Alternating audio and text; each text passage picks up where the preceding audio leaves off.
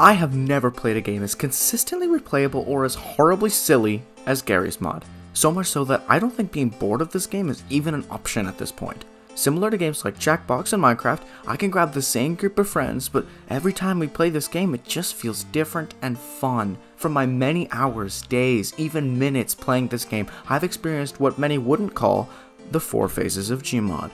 This rare completely real don't look it up phenomenon is experienced every single time you play Garry's Mod Sandbox, the most expressive and unique mode. Ah, I got this. No matter what happens, the phases remain.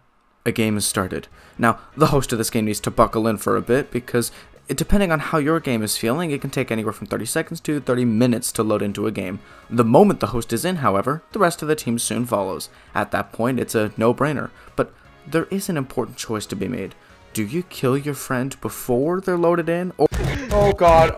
No wonder I can't join the game, because whenever I do, I fucking die and I'm glitched out. Hey, no, no, stop! Okay, you're in the game, and it's a sandbox map. Usually, if it's a new map, the first thing you do is...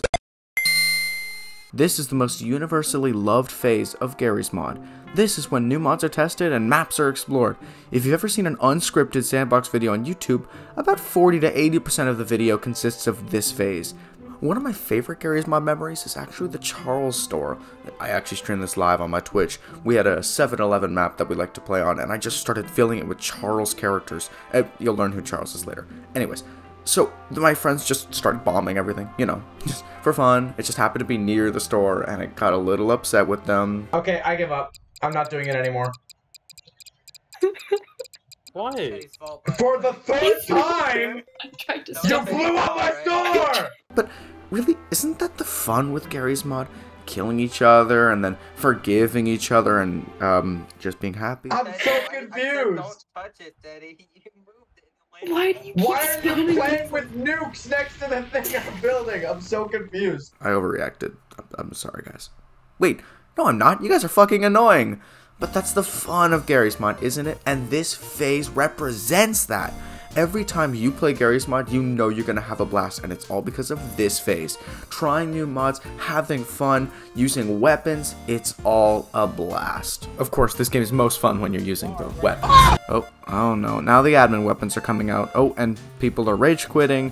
Oh, and now you're doing sniper duels. Okay, yeah, no, this is bad. Soon people are yelling, and it looks like it's time for. Now you've done it. Once the guns start coming out, they never leave. This face is in perpetual foreverness. You will never not be shot in this game.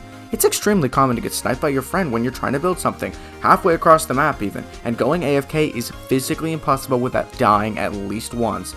This is a forever phase, a phantom phase, if you will. No matter what happens now, there will always be a looming feeling of death around you, especially as you see your friend pull an RPG once again.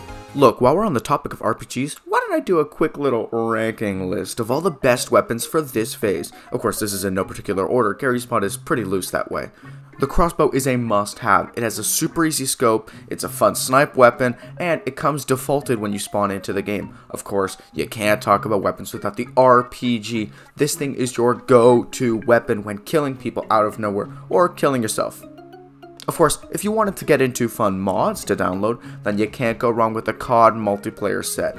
The TAC insert allows you to spawn anywhere you want, the Claymores allow you to prank your friends, and the C4s are unlike any other weapon. They are just too much fun to play with. I mean, you throw those bad boys around, it's game over. You throw it on a plane, game over. You throw it on a friend, it's game over. You throw it on the ground, it's game over. It's just, I love explosions, bombs, missiles. Missiles are great too. That's what messed up my Charles store, but I forgive them because missiles are fun and it's funny, and blowing things up is funny, and nukes are funny, but those don't qualify for this phase. I'll, I'll get into them later. But eventually, this phase dies down. Never stops, but it dies down.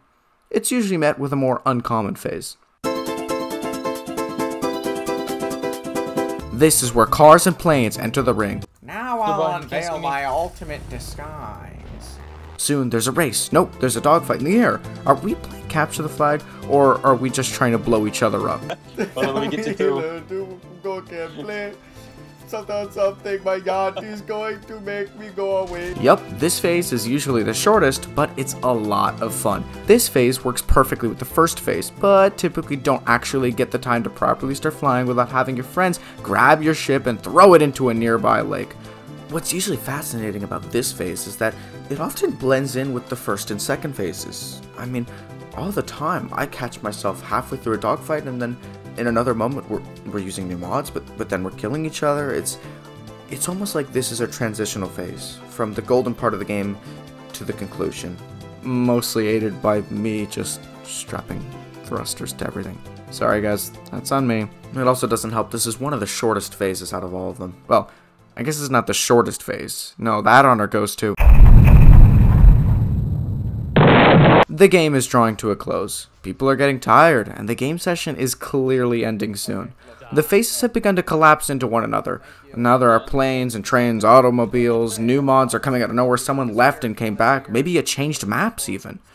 But sooner or later, even a new map can't delay the inevitable. Everyone knows it, and nobody wants to just stop playing. So, instead, you create an artificial excuse. What do you do? You crash the fucking game. I've had a great time. What do you What do you guys think, huh? Mason, what do you think? This was. I had a lot of fun, and you know. Matt, what about you? Uh, I've had a lot of fun. I hope Me you guys have a good too. day, and See you later. wow. oh my god. My speaker is just explosions, by the way. What